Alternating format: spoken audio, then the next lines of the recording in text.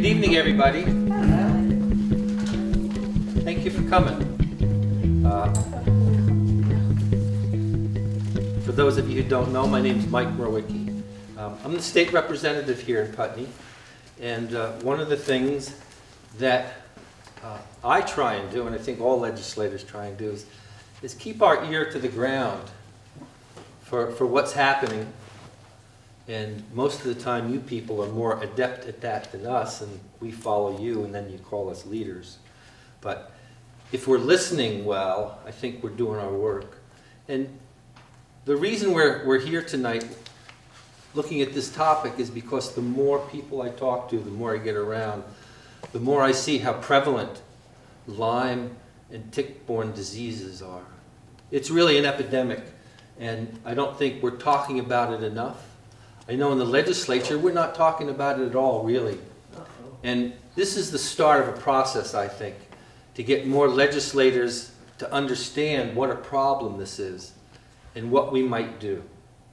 Uh, we're going to start with Bradley Tompkins, who's from the Vermont Department of Health. Before I turn it over to him, though, I just wanted to introduce Kathleen O'Neill here from the Brattleboro Department of Health.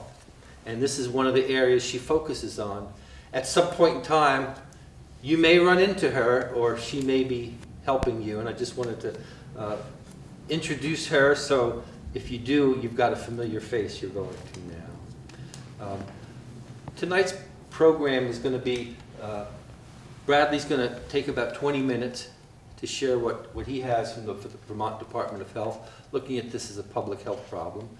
And then what I'd like to do is, is hear from you hear what your stories are, your experience, and any suggestions you might have for how we can help people better. So uh, thanks again for coming. And Bradley, it's all yours. Thank you. Thank you so much for inviting me here tonight. Uh, hi, everyone. Uh, my name is Bradley, and um, Kathleen and I are colleagues at the, the health department. Uh, Kathleen is down here in Brattleboro, whereas I'm up at the uh, headquarters in Burlington. But um, Kathleen does all of our uh, tick-borne investigations. So anytime somebody has a tick-borne disease that gets reported to the health department and they live in this part of the state, Kathleen is the go-to person to do that investigation. So a lot of the data that I'm going to be sharing with you tonight uh, comes from um, public health nurses like Kathleen and her colleagues across the state that collect this information and then um, filter it us up to us at the health department. And so um, again, thank you for, for having me and thank you for, for coming out tonight. Um, what I want to do is just go through some of the, the very basics about the latest information we know about tick-borne diseases in Vermont and give you some tips at the end, which I'm sure a lot of you are probably already aware of, about prevention. Um, so we actually have 13 different types of ticks in Vermont, um, but there's only five of those out of the 13 that actually bite humans. Um, four of those are um, actually capable of spreading disease to humans, but only one tick is responsible for all of the tick-borne disease that we see here in Vermont, and that's the black-legged tick. This tick is responsible for transmitting five different diseases in the state. These are the ones I'm going to focus on tonight. Anaplasmosis, babesiosis, Borrelia miyamotoi, Lyme disease, which is, I'm sure, the one that most people are familiar with, and then also Powassan virus disease. And um, it's important to, to point out here at the beginning that um, tick-borne diseases are actually what we call zoonotic diseases. Um, it's actually animals out in nature that are responsible for maintaining the bacteria and the viruses and the parasites that then get transmitted to us by ticks. So it's these creatures and lots of other ones who actually maintain the pathogen out in the community and ticks pick it up from them and then they spread it on to us. So although we're talking about these all as tick-borne diseases, we need to keep in mind that you know, nature being interconnected the way it is, there's actually a lot of different animals that play a role in the problems associated with tick-borne diseases. So when are Vermonters at risk? Tick-borne disease, um, you know, used to be thought of mostly as a spring and summertime um, um, threat that you had to be aware of. But in fact, um, ticks are actually active two different times of year. In the spring and summer, here where we see this peak in May, June, and July, and then again in October and November. So in this time of year, you've got your nymphal ticks. These are the ones that are very, very small, the size of a poppy seed, that are coming out and feeding. These are the ones that are feeding right now. And in the autumn, it's adults that come out. So the nymphs that are feeding right now, they get that blood meal. They use September and August, August and September to molt into adults, and then they come out for one more meal in the fall. So this is actually a graph of um, Vermont emergency room visits that are due to any sort of tick encounter. So they're not due to whether or not somebody's got Lyme disease or has got anaplasmosis. It's if somebody comes in and says, I've got a tick on me, can you remove it? Or I removed a tick and the mouth parts are still in there, can you help me? So this gives us a really quick and dirty sense of how busy tick season is this year compared to last year. We can kind of tell where we are in tick season. And so this is our historic average. This is the kind of activity we've seen over the last um, dozen years or so. And when we look at it this year, um, this data is as recent as last week. You can see so far it's been an above average year for Vermonters going to emergency rooms across the state uh, for some sort of tick issue. Um, so we've been above average. If there's any good news in this graph, it's that we're now on the downside of things. So those nymphs a lot of them have fed. They're going to start um, going back under the leaf litter and growing into adults. So in August and September, we're going to get a little bit of a reprieve from all the ticks being out. So where in Vermont um, are Vermonters most at risk? So you can get a tick-borne disease in any part of the state, but there are um, certain spots where the um, burden of disease is higher. It's certainly here in the southern part of the state. Bennington County has the highest incidence of tick-borne disease. That's Lyme and anaplasmosis and babesiosis. But here we are in Windham County. You can see that that's also dark green. So there's a lot of tick-borne disease activity here in this part of the state. And you can see kind of as you go north, the shade of green gets a little bit lighter, meaning there's less tick-borne disease activity. And um, in the Northeast Kingdom, um, it's kind of like the last bastion of very little tick-borne disease in the state. Um, when we do some fancy statistical analysis and look at hotspots, you can see we've got um, a big hotspot for tick-borne disease on the other side of the Green Mountains here in Bennington County and um, southern Rutland County. And we've got a bit of a cold spot here in some of the upper elevations uh, where we get more mountainous and towards the Northeast Kingdom. Generally, ticks don't like to live above 500 meters. So when you get higher up in elevation, you're going to find less ticks, less tick-borne disease. So um, I just want to talk about uh, five uh, different diseases here, just some basics for all of them, um, and go through them in order of their prevalence here in the state. So number one is, of course, Lyme disease. It's caused by a bacteria. It's called Borrelia burgdorferi. Um, an interesting thing about it is even though Lyme disease was discovered in the 70s and early 80s, the bacteria has actually been here longer than we have. It's been here for at least 20,000 years before the last ice age. The transmission time, um, this is something that's a little bit unique to Lyme disease, is that it can take a little while for um, the pathogen to get from the tick into your body, um, 24 to 48 hours, somewhere in that range. Um, this pattern here holds true for Vermont and the rest of the country. The kids between the ages of 5 and 14 are at greatest risk for Lyme disease, and so are adults um, age 50 or older. There's none of those here, so you don't know. yes, we're all young crowd here. Um, some of the common symptoms for Lyme disease. Um, this EM rash, it's, it's an erythema migrans rash, which means it's a rash that, that migrates. Um, it's the most common symptom that we see in Lyme disease patients in Vermont, um, but you don't see it all of the time. We see it in about 70% of cases. Um, perhaps some people have it on a part of their body that they can't see, or perhaps they don't develop that sort of rash at the site of a tick bite. But it is what physicians are looking for to clinically diagnose somebody with Lyme disease. Um, and you can see a lot of the other symptoms are generally pretty vague. Joint swelling, fatigue, joint pain, fever, sweats and chills, muscle pain, headache, neck pain. Um, this last one, we don't see all that often Bell's palsy. This is a, a temporary paralysis of the uh, facial muscle, muscles. Um, it can be one side or it can be both sides. Um, but again, thankfully, we don't see that that often here in Vermont. Um, again, this EM rash, which you know traditionally people have said, you know, you have to have an EM rash to have Lyme disease. We know that's not true. Again, about three out of four people do have this rash, but if you don't have a rash and you've got some of these other symptoms, that doesn't necessarily mean you don't have Lyme disease, and that's an important thing to know. Um, at the health department, we, we measure um, the severity of disease in infectious diseases by how often people get hospitalized with it. If there is um, any good news about Lyme disease is that the hospitalization rate is relatively low. Of course, we'd love to see it at zero, but 4% um, isn't that bad, especially when you compare it to some of the other diseases we're going to be talking about tonight. Um, the disease is curable with antibiotics, but people are going to have a better outcome with Lyme disease and avoid having longer term symptoms if they get diagnosed and get, get treated quickly. So that's why being cognizant of these symptoms, uh, knowing your risk is really important so that you can get diagnosed and treated quickly and effectively. Anaplasmosis is number two. Can I just get a show of hands who's heard of anaplasmosis?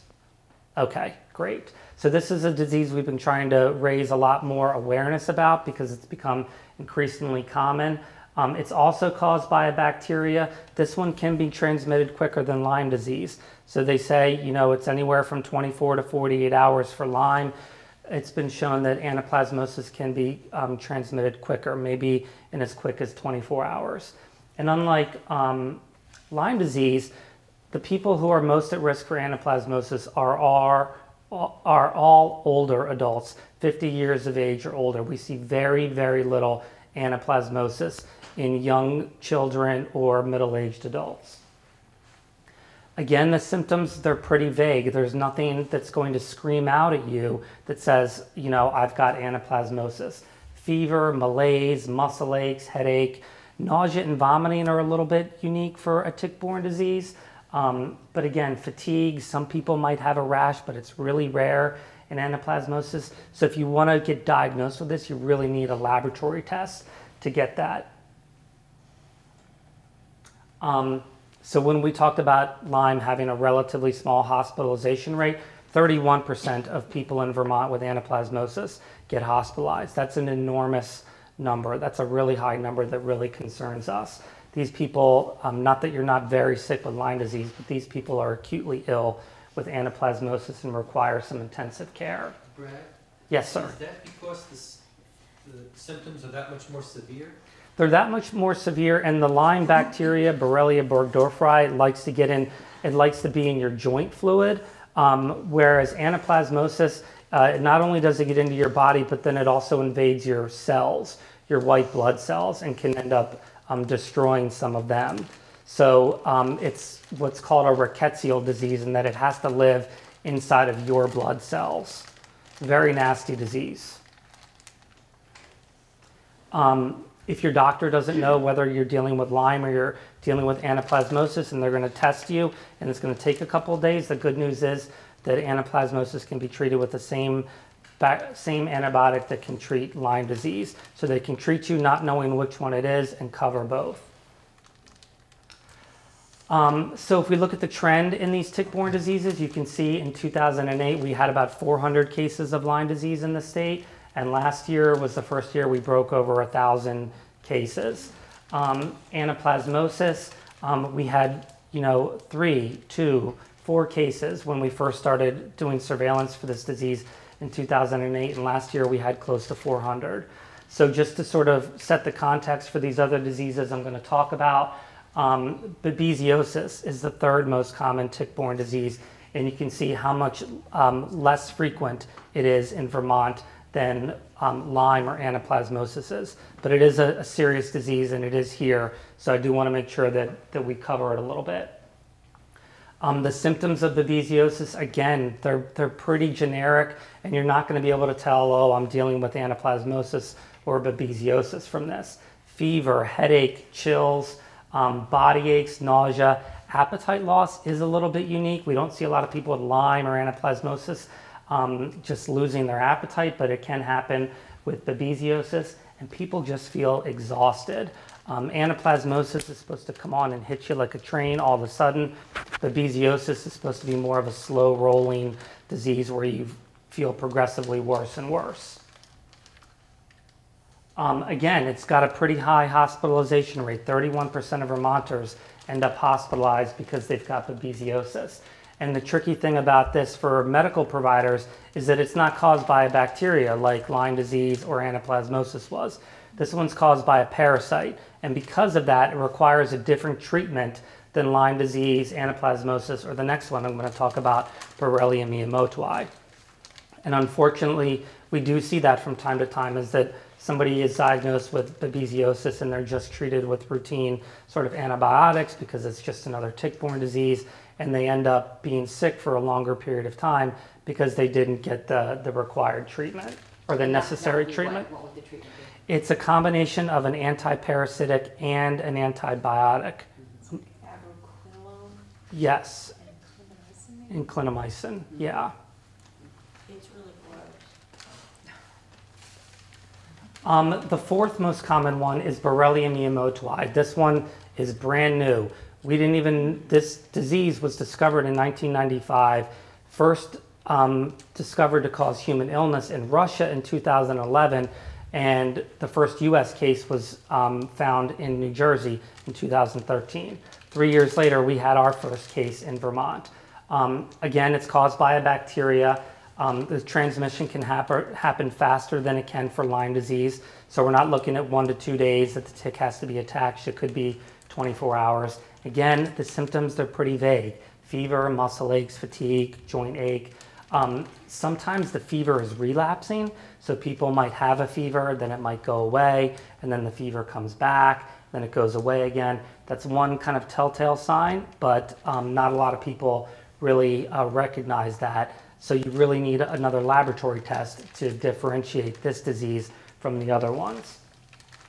Um, since it's a new disease, there hasn't been a lot of diagnostic testing available. Was really one specialty lab um, in Massachusetts that was testing for this a couple of years ago. But now um, there are more tests available um, through big commercial laboratories. So we are seeing more hospitals and more doctors testing for this disease.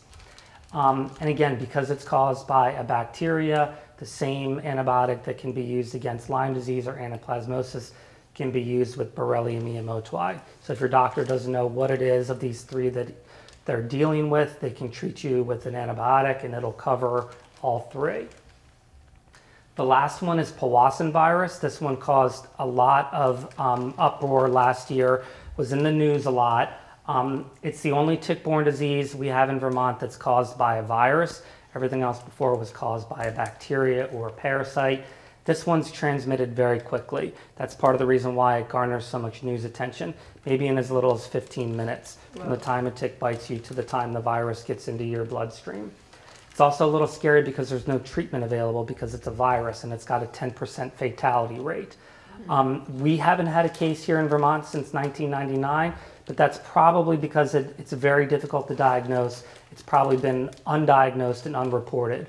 We do know that the virus is here because we picked it up in a small number of ticks.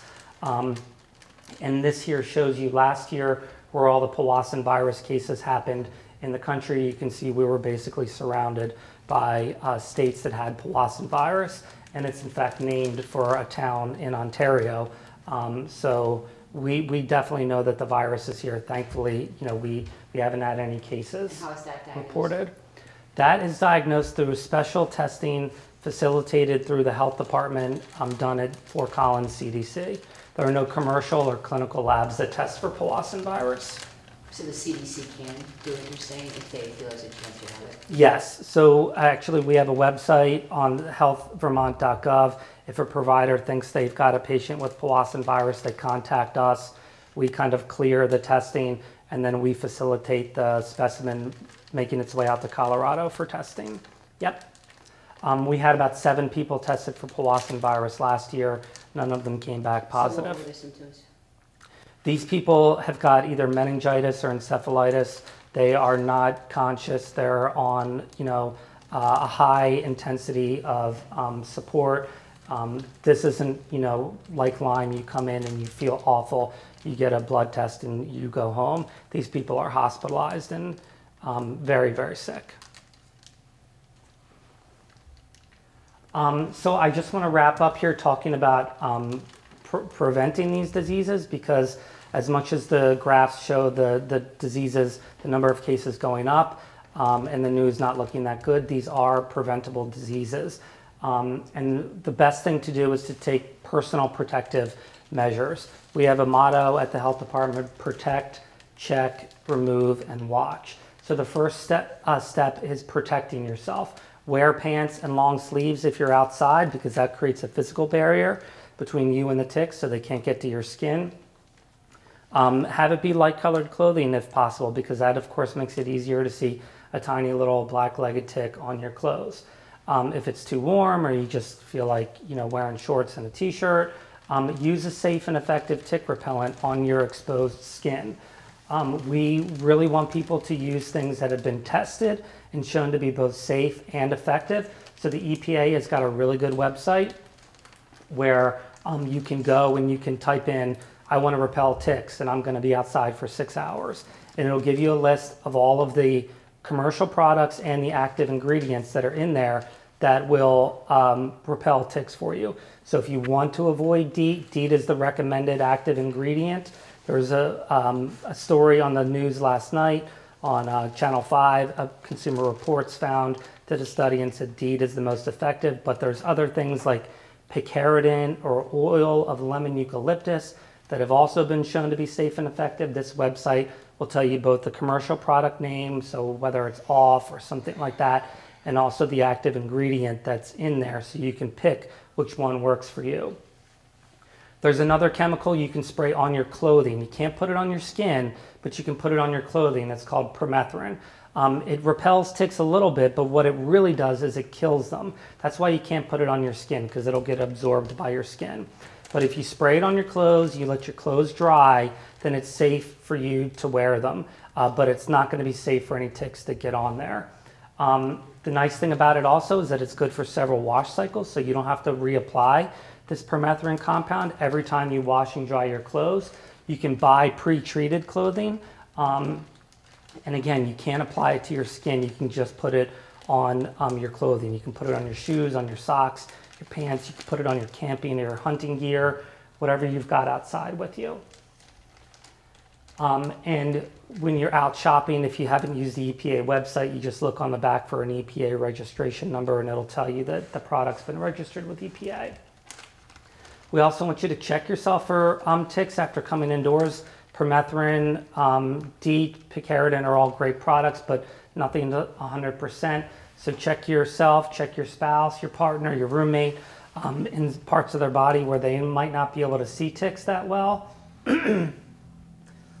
Um, and then if you do happen to find a tick on you, we want you to remove it promptly and correctly. So um, we don't want you to do anything to risk your, um, increase your risk of infection. So you just grab a tick by um, as close to your skin as possible. You pull straight up and uh, you remove the tick and discard it. There's a lot of stuff out there that says, oh, you use nail polish remover or you light a match, then blow out the flame and use the hot match on the tick. All those things um, could irritate the tick, make it regurgitate whatever it's got in its stomach into you already. So you don't need a special tool or anything like that, just a nice pair of tweezers, pull straight up and discard the tick. Clean the bite area afterwards with soap and water or alcohol. That's not going to prevent you from getting a, a tick-borne disease, but if you've got an open wound, you know, we want you to um, clean it up.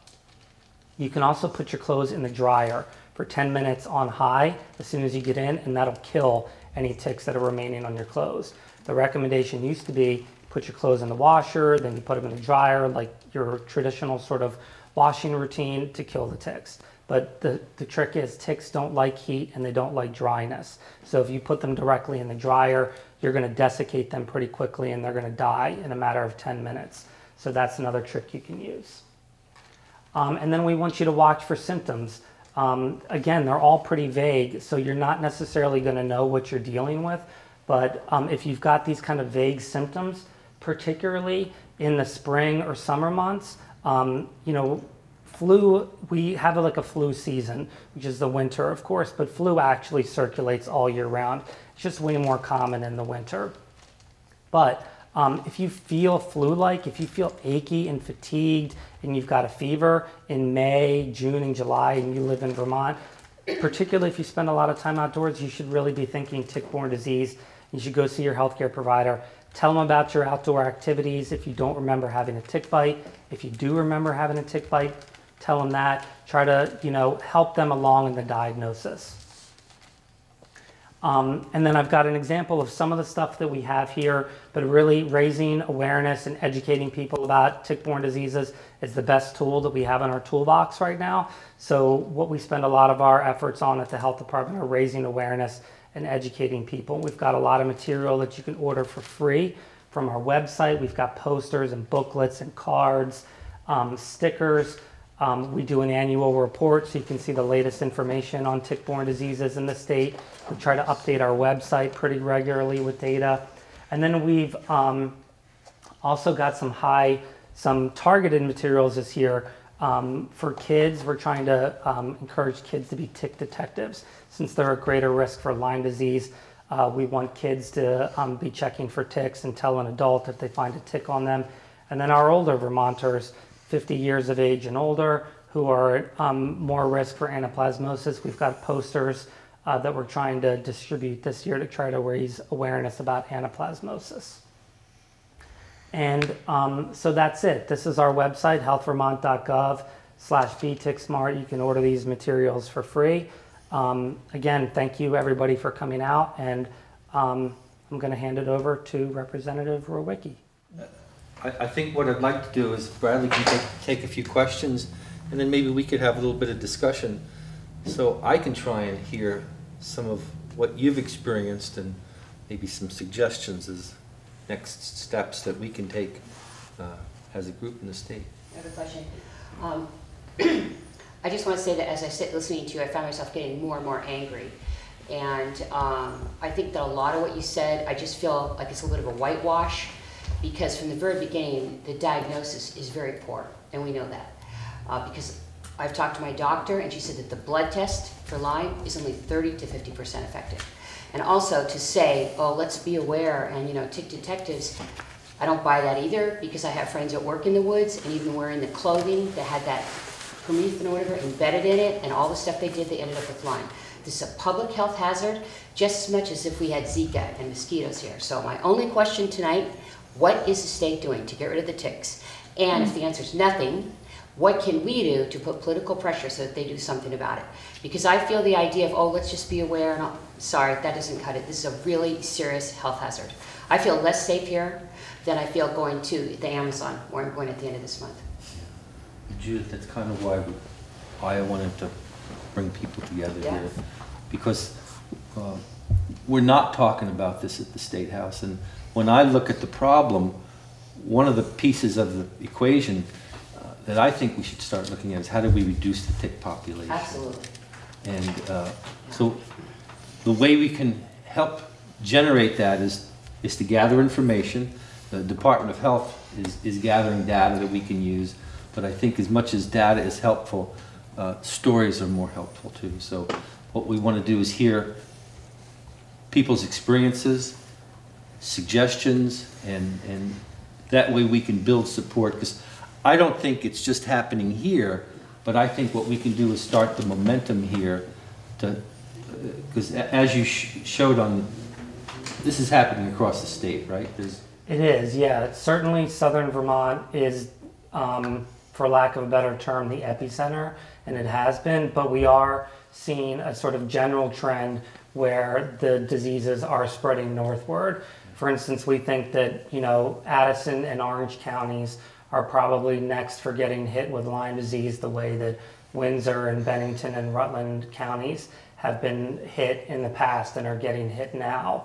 Um, so the just to, to your point or your questions, The Lyme test is the only one here that's based on serology. So that means that they're not detecting the actual pathogen in you, they're detecting your body's response to it. And you're absolutely right. The, um, if you if you show up to your doctor's office when you are acutely sick with Lyme disease, um, say within the first week, you might you will likely end up negative on that test because your body does not um, does not create an antibody response to the the pathogen quickly enough. You might not be positive for a week or two or three weeks later. So there are um, you know studies being done to look for uh, better testing for that. A lot of these other diseases are tested through a PCR technology where they're looking directly for the DNA. So I hear you that patients aren't crazy about the test. Physicians often get confused by it. It's not easy for us to interpret at the health department either, but I do want you to know that we do take these diseases seriously. Um, that's part of the reason why we're investing a lot of money in this. And awareness, we can get into this a little bit later, but um, we focus a lot on awareness and education because at this point, it's the only thing that's been shown to actually be um, effective at reducing people's risk. But we can talk about that a little bit later. Um, You mentioned that, uh, I'm not going to bother with the kids because I don't see too many in this room, but the the 50-plus is more susceptible or has more reported cases of um, of Lyme. Do we understand the reasons why? Is that because their kids are out in the the woods, middle ages are working and the older people are are less likely to be working and more likely in the woods? Or is there a I, think kids are definitely at greater risk because they're outside and doing a lot of this stuff. I don't know necessarily why you see the dip in the middle aged um, and young adults, and then you see an increase again in older adults. A lot of the infectious diseases we deal with, anaplasmosis in particular, likes to take advantage of people who are um, older or having a, some sort of compromised immune system or they're fighting some sort of other health issue. So that could, you know, be a part to explain why we see more Lyme disease in older adults than we do in younger and middle-aged ones. Um, having said that, we see plenty of 20 and 30 year olds with Lyme disease in Vermont. It's not like we do with anaplasmosis where there's virtually nobody. Everybody in Vermont gets Lyme disease. It's just these older individuals and the younger ones are at higher risk. Did you just say everyone in Vermont gets Lyme disease? Across all age groups. Oh, Yes. yeah, sorry. No. You just don't know yet, you have it. my doctors don't like the test. Yes. Um, there's the tick that bit you that you never saw. That's a problem. hmm But if you have a tick attached to you, I really firmly believe that having that tick tested will give you an advantage. And I'm going to explain that my husband got a tick bite 50 feet from this building and it had anaplasma in it. He was given two doxycycline, the recommended para- prophylactic dose, which I actually heard on the tick-borne disease working group, one of the last meetings they had, that if the tick that bit you has those two diseases, the efficacy of those two doxycycline go down 20 to 20 percent. And so he was bitten, and exactly 14 days later, he couldn't walk, hmm and he was asking for crutches, and I was laughing because we knew that that tick had anaplasma in it, and that he needed to go on doxycycline immediately. So I don't understand why the state of Vermont doesn't recommend that people go ahead and have that tick tested if they have one attached to them. It just doesn't make any sense to me. I understand the one that got away, the one that got me got away, never saw it. But um, that the, when my husband got bit, the last one that bit my family, I sent it to UMass. They had 160 ticks that day because it was the middle of November. And that's when the adults are out. So I think people really need to understand that October and November are really dangerous months. Um, the last talk, you said that people should um, spray their shoes, and you had a percentage of how effective that was with permethrin. I think I sprayed all my shoes. I don't spray my sandals, but um, in terms of killing ticks, if permethrin will kill them, If you wear permethrin-treated clothing, you are doing that job. I want to tell you, I have these little leggings and this skirt, which is treated with permethrin, and I am killing ticks all day long. Yeah, Did I get that permethrin is, right? is going to, it's going to disrupt their, um, their movement. They're going to become sort of paralyzed and maybe fall off. And if they're in contact with it long enough, they're going to They die. And they won't climb up on you, they'll jump off. Right. If somebody comes, brings a tick to your office, can you test it? No, we don't test it. Um, That tick testing, the tick might have anaplasma, but it doesn't necessarily mean that you do. You might have anaplasma, because you might have had another tick bite and you didn't see the tick. That might not do you as, as well as monitoring your health, and as soon as you show symptoms, go to the doctor Well, or I, your I agree you should do both. Yeah, do both. Um, the other thing that you said was, um, that the recommended treatment was two hundred milligrams of doxycycline, and, it- and it two doxycycline, Yeah, it's not, it's, um, they don't do that either. no, because if they give you the two hundred milligrams of doxycycline, it can knock the symptoms back, and it could mask that you actually have So anaplasma. the doctors Or- aren't doing that anymore? So, well, it's, I'm not going to speak for the doctors, Oh, but it's not recommended from the CDC. It is something that some practitioners have been doing, but it's really the full, once you've, um, are known to have a tick-borne disease, it's really the full, um, two to three weeks. Yeah. Right, well, I'm glad to hear that, because I did hear that as well. But I know that doctors like to treat a tick bite with two doxycycline. Right. I think that was more for Lyme too, if I'm right, the two hundred milligrams for, for Lyme. Yeah, that, that's one reason why we don't make that a big, I mean, we don't get into the medical advice necessarily here, but it's a big reason why we don't focus on that when we talk to providers, is because that was one study that was done with Lyme disease, this whole idea of a prophylactic dose of doxycycline.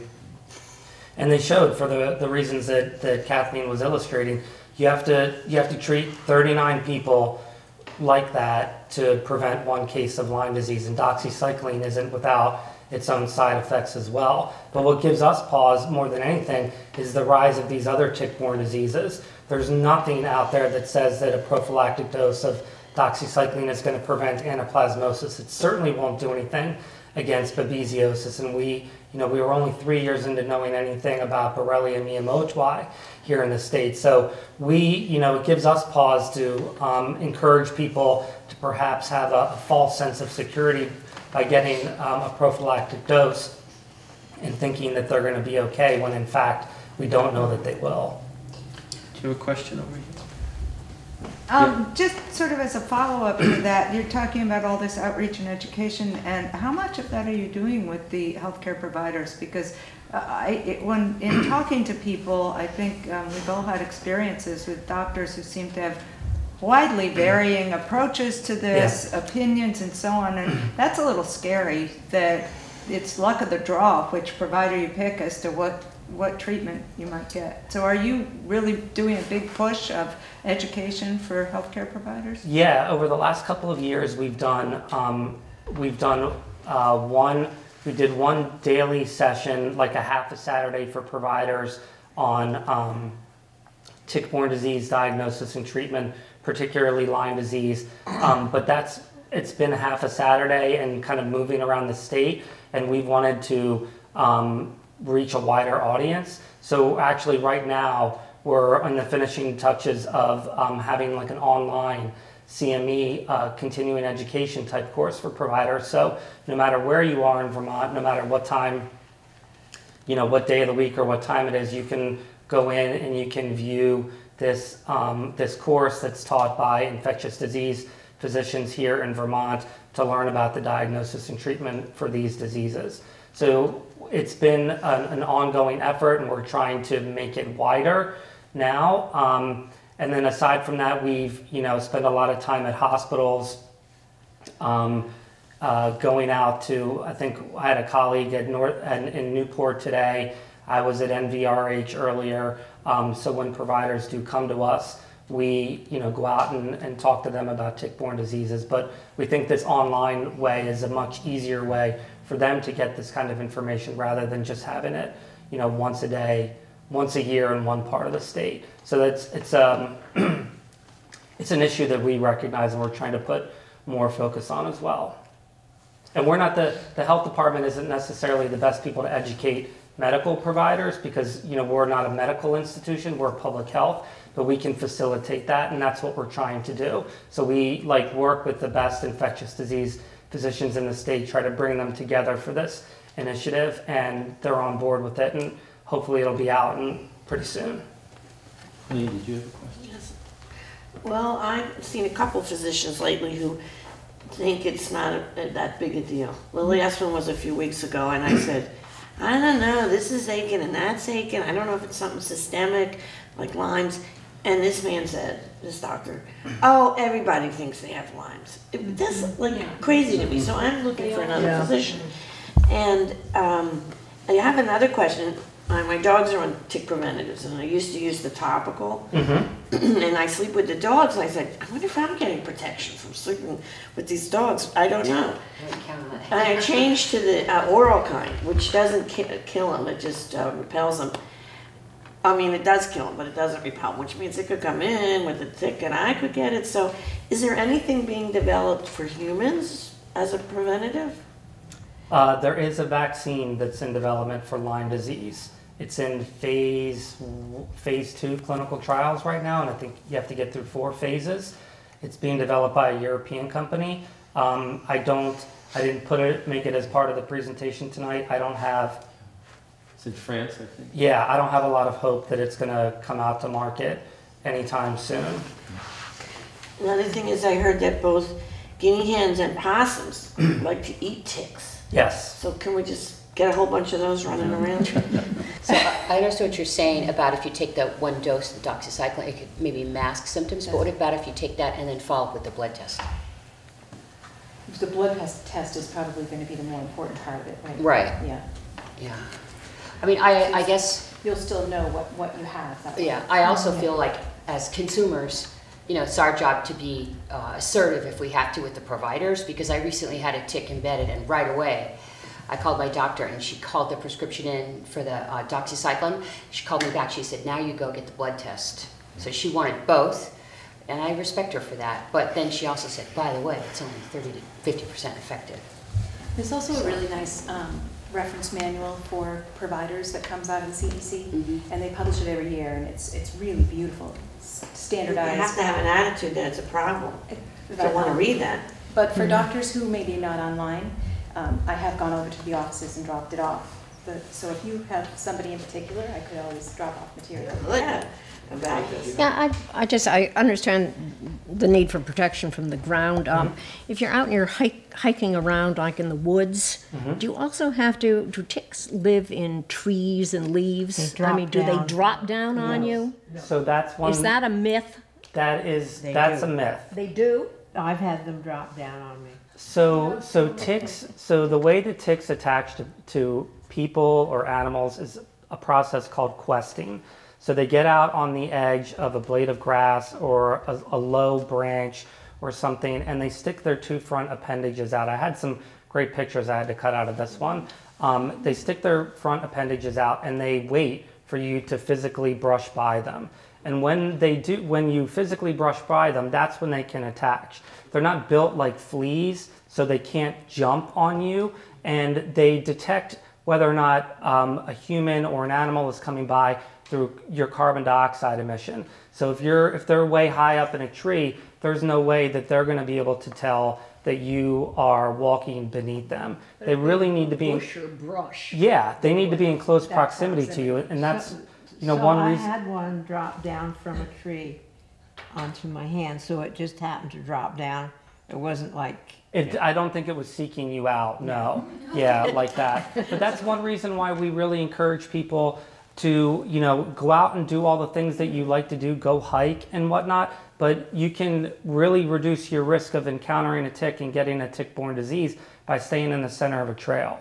Because the center of a trail is nice and beaten down, and there's not much, you know, all the brush and the taller grass is on the sides, and that's where the ticks are going to be. Mm-hmm. So, you know, if you can stay in the middle of the trail like that, and I realize it's not always possible, particularly if you've got a dog or someone else you have to run after, um, you can reduce your risk of, of encountering a tick that way. that really works because I, I hiked Putney Mountain.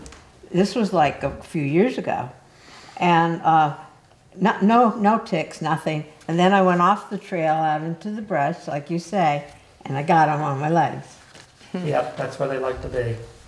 Well, I don't go out hiking, and a couple of years ago, I was fairly sick with the health condition I have. So three friends came over and took me out to Burdick's for lunch. All three of them have dogs.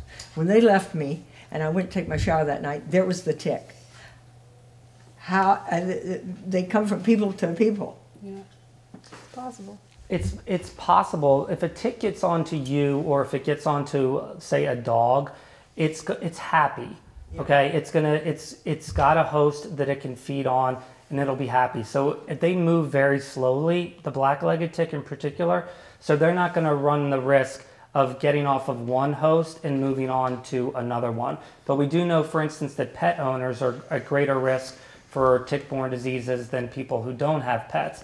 So your dog might come inside with a tick that's attached or starting to get attached, and your your dog does this on the couch and happens to knock the tick off, and then you sit down to watch TV that night, and the tick says, "Ah, here's somebody else," and can attach that way. But generally, they're not going to go from one host to another because that's just too risky Well, they for carry them. dogs in their car, all three of those women, and the, and I'm sitting in the car. I mean, Oh, there I, I it didn't fall out of a tree for sure. Probably got out of the car. Hi, um, I am good friends with Debbie, and I lived with with um, her having re-succumbed to Lyme two winters ago, and she she was paralyzed practically. It was horrible, horrible, horrible. And then, I'm sorry, sweetie. and then, um, so I was very tick aware. I bought a house up on Hickory Ridge Road by a babbling brook, and I was so thrilled um, couldn't get TV reception, so I had a tree guy come, and he goes, "You know, I can treat your land for ticks." And I said, "Well, good." And he goes, "But not now. Um, this was fall." And he said, "We'll have to do it in the spring." And then I had him come. I talked to him again, and he said, "Well." When I kill them, it's two hundred dollars, and it's just for that day. They're going to come right back. I'm like, well, that really, no offense, sorry, but it was not a good answer. Yeah. Um, in November, I buried my pet in my garden, and um, I I had I found two ticks on me within two days. Went to doctor um, and uh, the urgent care place, got my doxycycline, and by Christmas, I could barely move. I was just really really weak and tired. Um, and I called my doctor, and she said, "Well, I can't see you till January." And whatever. By January 26th, she had referred me to a hematologist because my blood count was so low. I had anemia, and I mean hemolytic anemia, pneumonia. I was put into the hospital instantly. She had to take me. I couldn't. I, I didn't couldn't You're get. Amy, aren't you? Yeah. Okay. Oh my God! I Yeah. am famous. No, uh, if we could talk, I, I don't want to stop you, but if I, we could talk afterwards too, I'd like to. I wanted to catch up with you. Okay. She's the famous one. I tried to stop it. I did all the way through. Uh, yeah, she took. She wrote wrote down on the list of what to ask the test doctor Amy about. for these diseases. And- And I gave her a note. They put me right in the hospital. I was there for five days being treated with doxycycline. But by the fifth day, they did a, um, a slide test of my Yeah. blood. Yeah. And I had babesiosis. I, I think Yeah, one of, here. in- one of the town had- three in the state. Today, I got released from my doctor's care six months later. Mm-hmm. That I am all back to normal. And I'm fine, everything's ah. good. But I don't want to garden anymore, and I'm very sad. So. Yeah. So what is the state doing, if, if you know, anything at all in terms of killing the ticks? In terms of killing the ticks, there is nothing out there that's been shown to be effective at killing ti- at killing ticks that reduces the risk of tick-borne diseases. So, as Amy was saying, you can spend a lot of money. Two hundred dollars is on the lower end for what I've heard to um, kill the ticks in your yard, but that is a temporary solution. The ticks are simply new ticks are simply going to come back, and you know there have been large-scale studies done that have shown you can reduce the you can do all these sort of environmental things. You can spray, you know, your yard. You can clear out all the leaf litter. You can get rid of your bird feeders. You can do all of these things to reduce your risk of getting a tick-borne disease, um, but none of them have actually shown to work. The only thing that's actually been shown to work, and the reason why we put so much emphasis on this, are these personal protective measures. So, checking for ticks and removing them, and um, actually bathing, which is why we do shower cards, bathing afterwards are the techniques that have been shown to reduce your risk of contracting a tick-borne disease. It's, it's perplexing, it's frustrating, but there is nothing out there that says you can do this and it is going to eliminate the tick population or re- significantly reduce the tick population to such an extent that you're going to reduce your risk. Um, part of this is like you can do all these things in your yard, but nobody lives exclusively in their yard. So if you happen to go somewhere else and you pick up a tick, you know, you've just basically zeroed out everything that you did in your, um, you know, on your property. So I think if there was something that was shown to be scientifically um, efficacious that's going to reduce people's risk of contracting a tick-borne disease by eliminating the tick population, you know, I can't imagine that, you know, people wouldn't want to do that. The part of the problem is, and I only had one slide to devote to, to this, is that this is such a complex issue that involves, you know, how we've, you know, modified the landscape.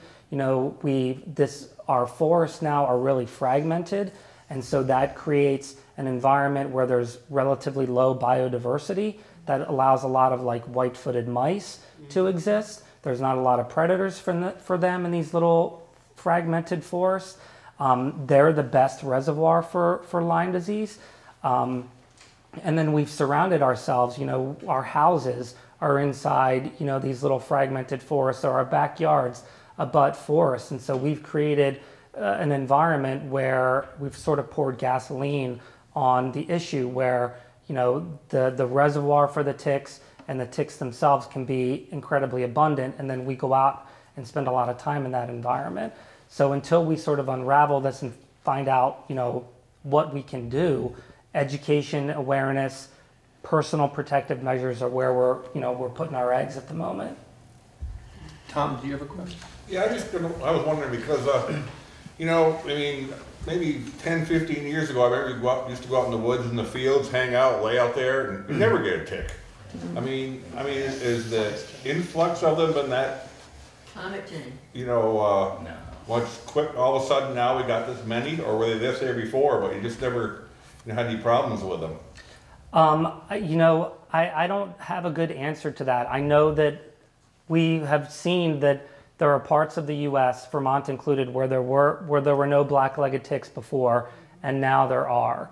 Um, so I heard somebody mention climate change. There are people who think that climate change could play a role in some of this. There's probably a lot of different reasons. What really speaks to me, um, you know, this bacteria in the tick for Lyme disease was here before before we were, but this was all a big contiguous forest that didn't support, you know, it supported a lot of different creatures that weren't all really good reservoirs for this bacteria. We clear cut this entire area, you know, the northeast, and over time it's been reforested, but again in a fragmented sort of way, and we've sort of dotted ourselves in there. Um, so again, we've created this environment where a really good reservoir for these diseases. The white-footed mouse can make its home there. Um, there aren't a lot of, um, you know, the, the tick can make its home um, in the leaf litter and the landscaping that we provide. And then, you know, again, our houses, mine included, you know, are surrounded by these kinds of woods and stuff. And so I think that that has definitely played a role in why we're seeing this increase in tick-borne diseases over the last 30 years. I know it's it's been sooner in Vermont, but you know Connecticut and the rest of the Northeast, we're seeing this. Pennsylvania um, before we were. Why did they start in the beginning calling it a deer tick? Great question. Thank you. That was another one of my slides. I love this story. So they used to think that it was the deer tick and the black-legged tick that they were two different species. But then when they started doing some, you know, molecular testing and looking more closely, they said, "Oh my gosh, it's actually the same tick." And it's called Ixodes scapularis. The the the the name scientifically accepted is the black-legged tick, but you still do hear deer tick quite a bit. And we, because it's scientifically accepted, we use deer tick, or I'm sorry, black-legged tick, but also um, people ascribe way more responsibility to deer being part of this problem because of the connotation with the deer tick. Deer are really important for adult ticks to feed on, and that's where adult ticks like to procreate. Um, but they're not as important at spreading Lyme disease as, say, the white-footed mouse. Typically, the the mouse that the sort of pest mouse um, is not that lives in homes with us is sometimes not the white-footed mouse. It depends upon where you live. If you live with woods around you and stuff, sure, the white-footed mouse can get in there. Um, so it's it could be the white-footed, it could be the deer mouse. Um, but hey, they like to live, you know, around kind of where we are and woods, and they love bird feeders and all the other acorns and whatnot that we have in our yard. It's possible. You know, it really is true. I agree that years ago we didn't have them. And it was not that long ago. And I've heard stories about the people going and shooting deer down south and then bringing the carcass up, and we got them that way. And I've also noticed that years ago we did not have a possum in Vermont. And they've come up from the south, they've migrated as probably the weather maybe has gotten warmer. But years ago, and not that many years ago, I was out there all the time cutting brush and traipsing through and never, never got a tick. Yeah, I hear that story, that same story a lot. Question? Uh, It's, it's not so much, a question as an observation, and it's probably stating the obvious as to what a uh, serious and widespread problem this is for humans, and especially those of us who live in rural areas, because I'm listening to these stories and know a lot of people who've had these diseases, and it changes your way of life. I mean, we're talking about people who we don't want to garden anymore, we don't want to go out in our yards, we don't want to do brush, we don't want to hike, we don't want to walk. And so, what it's doing, it's not only changing our way of life, you know, how we live our daily lives, it's changing the culture. Get a kayak. I've been trying to figure out what the change has been, because like he said, when I was, I was born in the forties, I didn't get a tick on me until the 90s mm-hmm. And we rolled in the woods. First time I found a tick on me, I was turkey hunting on the edge of a field. And now it's gotten so you can't even walk through a field without getting on them. And I tried to figure out what the heck has changed. And the biggest thing I could think of was they stopped burning the fields in the spring. They get those little sacks on the edge that they hatch out of, the ticks. Uh, Is that a possibility, why they're so infested here now? Because there's no more field burning. That's I haven't heard that before. That's a good question. Yeah, I know that burning is an important part of the ecosystem out west Yeah. in particular. I have not heard that for out east here. So that's that's something I could look into. That's a good question. One of the things, that- just talking to Jack Manix at Walker Farm, Jack said when he first started farming here, you could pretty much guarantee mid-September to the end of the month, you'd get a killing frost. Yeah. And in 40 years, it's moved a month up, where Or two. Mm-hmm. or or more. So I can't help but think climate is is Yes, it certainly plays is, a is a part. factor And by here the too. time we get our cold weather, we get a snow cover. Yeah. And I think that really insulates them, so. The data doesn't really support the change in temperature to that extreme, but Yeah. They they think that that's it's a good point for the moose tick. You know, the moose in Vermont and the Northeast are being decimated by the moose tick, and they think it's that exact reason is that the you know the moose tick becomes inactive after you have a hard frost or it gets below a certain temperature, and as that as that date has moved back, the tick is out there more often and can encounter more tick, more more moose. The problem with the black-legged tick is that this thing is so hardy that even if it's we get a hard frost and then two weeks later it's above freezing, this thing will come back out and try to feed again, even on a warm day. I've been deer hunting up north in November when, when the season opens. And they've got eight inches of snow up there, now the moose have still got ticks on them. Mhm. And they're dying off at a good rate too. Yeah. So I I don't think it's, uh, climate change. Well, Betty, I could you? think that part of the, sorry, part of the frustration um, with your presentation, and I think the approach that we see so often, is that we keep hearing what we're supposed to do personally about the Mhm. ticks. And, and I think our feeling is, we need to do more environmentally about the ticks. We can't do anything about climate change at the moment, unfortunately, or fortunately, or whatever.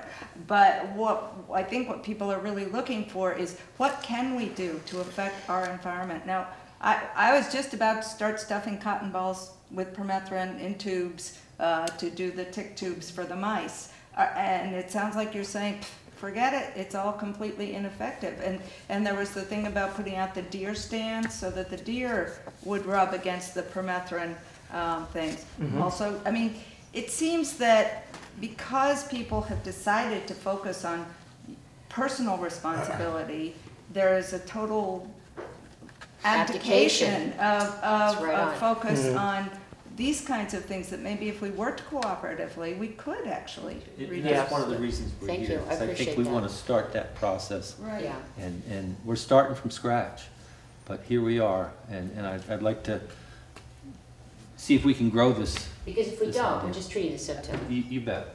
What's the point of just I have treating one the more symptom? question. How long will a tick live without being nourished by blood, whatever?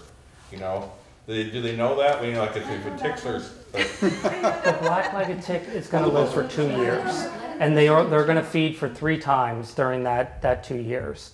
So um, it they if and it say like the adult tick comes out in the fall to feed. If they don't happen to get a meal in the fall, they can overwinter and try to get a meal early in the spring.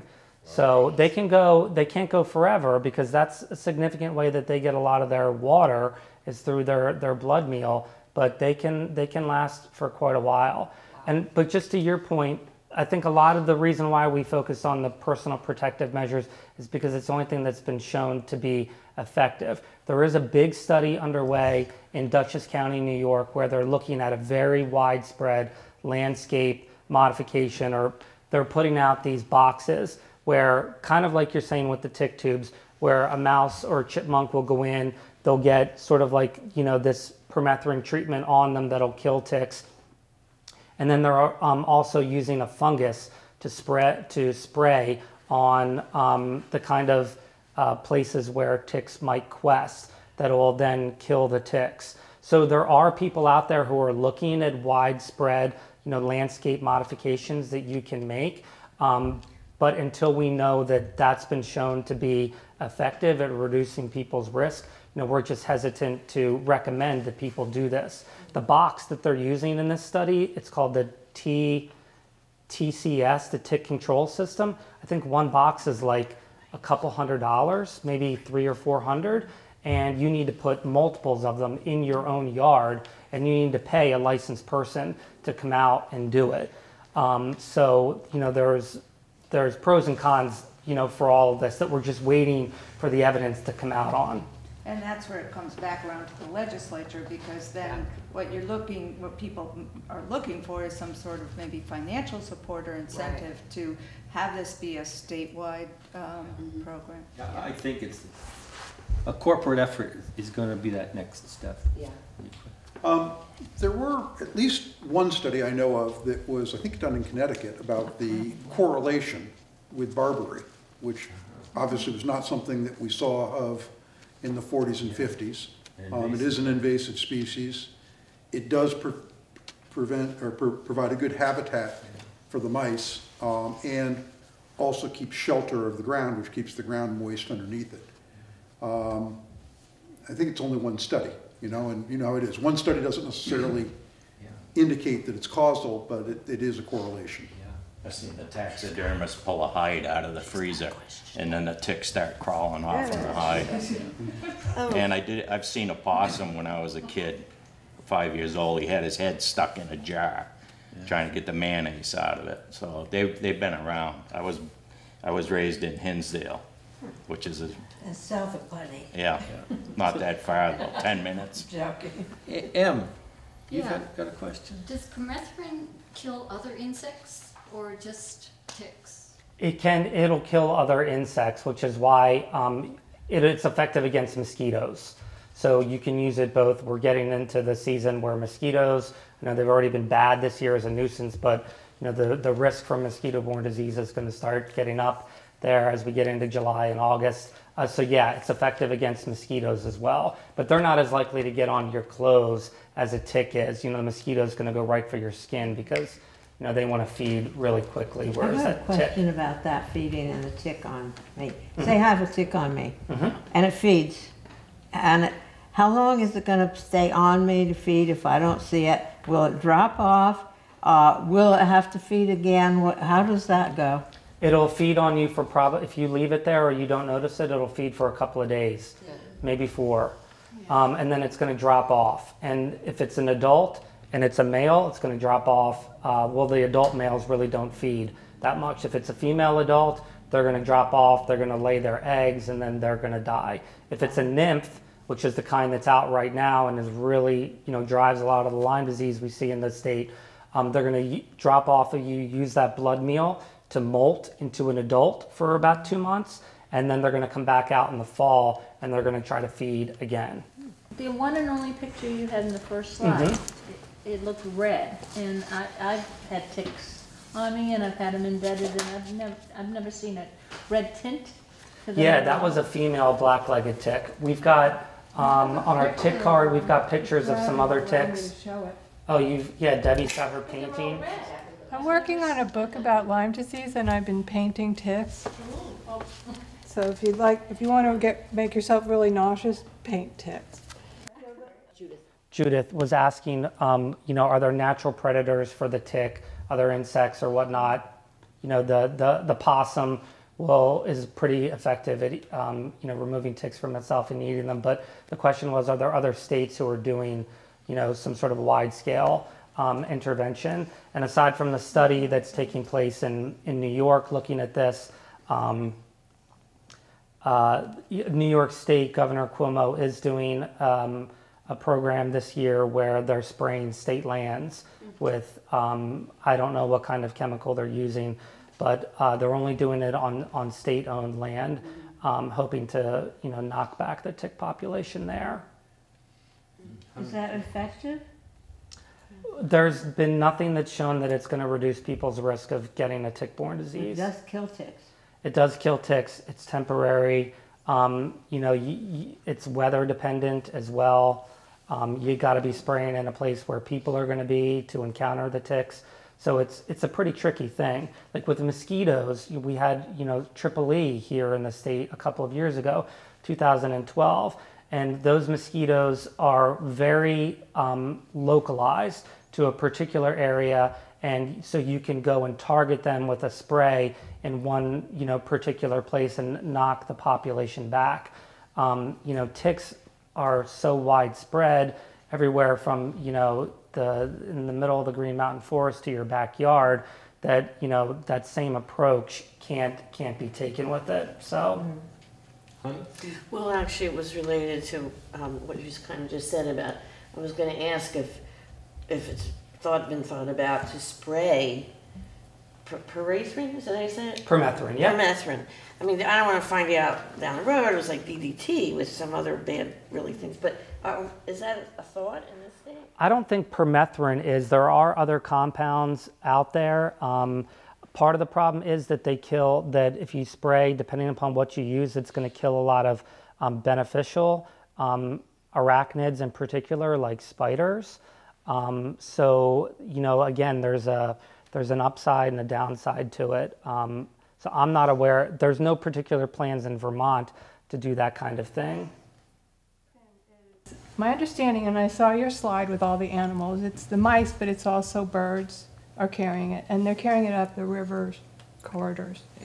Um, so I'm wondering if you've found that there's more Lyme disease along the river corridor in Windham County than up in the mountains. Um, generally, um, so what we would need to do that would be uh, we need to look at the tick population itself rather than the people, because generally most of the people in Windham County live towards the the um, the the river there. So we actually just started um, a, a pretty big tick surveillance project this year. We're hoping to continue it for the next couple of years, and it would answer something like that, whether or not the tick population is different, you know, away in towards the valleys um, than it is away from them. Generally, ticks like you know moist, warm environments. So um, a river valley like that is actually a really good place to encounter ticks because the microclimate there is pretty suitable for them. So I'm still confused, having been a couple of years ago um, diagnosed with. I mean, I went to the Brattleboro Memorial Hospital, got the test, my doctor did, because we found a tick on me. It said I had Lyme, gave, gave me the medicine, but not for the 30 days that a lot of people, I don't remember taking it for 30 days or whatever. I felt weird symptoms a couple months later. There's a Mhm. lot of ticks around my house. My dog, I don't know. Um, I convinced his nurse to that I felt like I had these symptoms, so she signed me up to go get a test again at the hospital. Mhm. He called me up on that Sunday, and he was furious that I went to go get that test again because he said it was expensive, and I already once I had Lyme, I had it, so that wasn't going to tell me anything. I, I found a tick under my arm. Mhm. Well, it, it was there, you know, probably a while. I got rid of it, and I didn't. I didn't do anything Okay. about it. Am I supposed to do something about it every time you find a tick on you? The recommendation of the health department is if you find a tick attached to you, you should watch your monitor your health for 30 days for some of those symptoms that we talked about tonight. If you get sick, then you go see your healthcare provider and get diagnosed and get treated because um, if you if you go to your provider before you're symptomatic, you're probably going to end up negative for a lot of the tests, not only the Lyme one. Right, that's what they say. Mhm. That's what they're, they're, yeah, okay. Once you have Lyme, you always have Lyme, or you're more susceptible when you get it again to have it worse? You can get Lyme disease multiple times. There's nothing, there's no immunity that you develop to it. But no, people can get Lyme disease, you know, have a really bad acute illness, get diagnosed and treated, and that's it. They're done with Lyme disease. Um, in your particular case, what it sounded like they were referring to is that the, the test for Lyme disease, it measures your antibodies. And so a couple of months later, after you were acutely sick and you're feeling kind of bad again, and they test you again, you could just be showing antibodies to your previous Lyme infection. You're still going to have them. So the te- maybe your doctor was saying that that test isn't going to tell you very much because it could just be positive from your previous infection. Okay. That could be it. Could be it. We have the last question because Brad's got a long way home.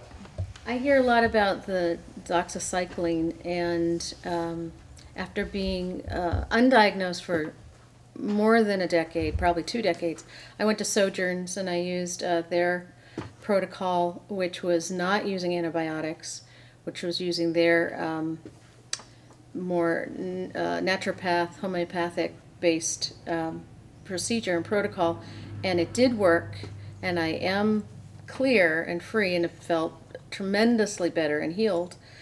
Um, and the interesting part that I knew that it was working was that there was die off. Immediately, I could feel feel the die off of the bacteria within my system. So there, they were the first providers that took me seriously, and this is after having symptoms for over 20 years. Uh, so I was really happy to know that that was also a resource. Um, so we do have a variety of approaches, but that was something that personally worked for me. Will any antibiotic work on this? Anyone? Any? No. Yeah. Uh, no. The, the first line treatment is doxycycline. There are other um, antibiotics in the tetracycline family. What's the second one they go to for kids? Um, but no, not any antibiotic will work. Bradley, I want to thank you. Uh, Thank you. Sure. Thank you. Thank you everybody for coming out and great And questions. and Kathleen from the Brattleboro Department of Health. Um, Hopefully, we won't have to come see you, but if you do, there's someone there. Um, What I'd like to ask, um, was great that you could share and take questions from people. If people have experiences they want to share, uh, it would help me to start to make the case with other legislators that this is a problem that needs the kind of attention it's not getting. Um, If you could email me your story, write your story. Uh, If you don't have my, most of the Putney people know how to get in touch with me. If you don't want, I can give you my card with my email. Um, I think we're starting from scratch to build the case, and the way we, we get to a place where we uh, can get enough people to say this is a problem that needs, uh, is to get people's experience, to get people's testimony, and then to understand, this is a problem, how big is the problem, what are the solutions? And, and we're, we're, feels like we're at the start, even though most everybody here has been through the whole process themselves. So it would help me as a next step, if, if you have a story to share, if you can email it to me, write it to me, uh, that would be a great next step. Uh, and what I've, just like what Amelia shared, there's no one thing that works for everybody here. If you have ideas that have worked for you, have, that haven't worked, that would be helpful too, because I think we're trying to build a, a- knowledge base here. So, thanks again for coming out.